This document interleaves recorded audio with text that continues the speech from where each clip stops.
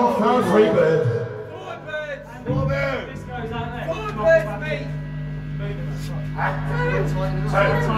Two you.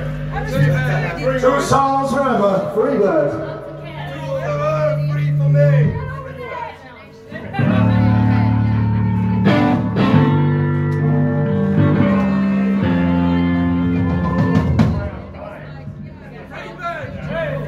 Three birds. Three birds.